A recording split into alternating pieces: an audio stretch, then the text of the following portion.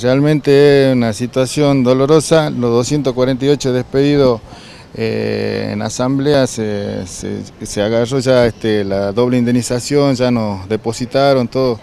pero como este tipo de empresas que son multimundiales que operan de esa forma y le produjeron acostumbramiento a la gente y la gente por ahí se siente agradecida y no es justo porque nos tocan el bolsillo en un 30, en algunos casos hasta un 40% y hoy están indemnizados y, cuando se vio este, cómo se salían de, cobrar la gente era muy doloroso y triste. Y la gente que está acá son los 80 despedidos que la empresa aduce que son voluntarios, pero uno analiza y ve la situación, son involuntariamente este, despedidos, eh, se los perjudicó mucho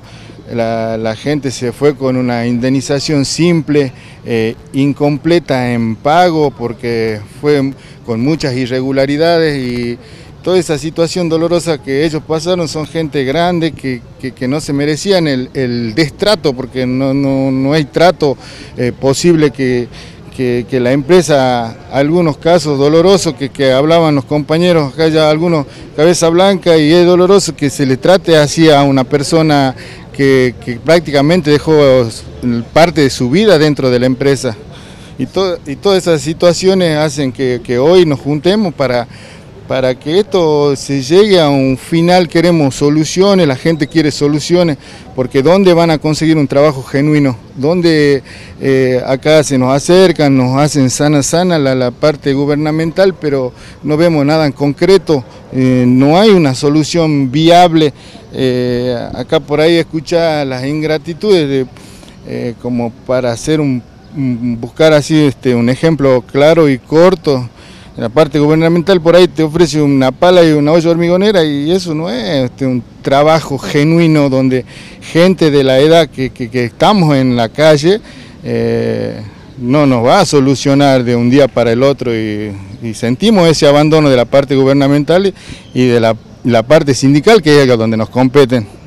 Ahora, si se siente que son un número para esta empresa, evidentemente tantos años aportado y que no dé respuesta, que los deje a estos 280 trabajadores en la, en la calle?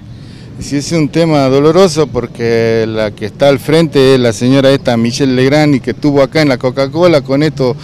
esto que pasó, nos estamos enterando cosas, la gente nos cuenta, se nos acercan periodistas, noteros y, y realmente ya viene haciendo ese trabajo, acá lo hizo, acá en Salta Capital